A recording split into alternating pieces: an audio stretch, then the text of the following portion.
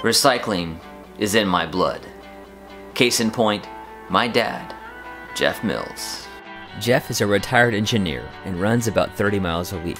On his runs, he picks up cans. Last year, he gathered over 16,000, worth nearly $350. So why not recycle while you run? 26 second green.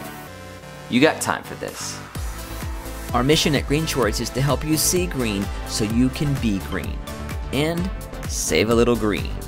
Thanks for watching and please subscribe for more 26 second green.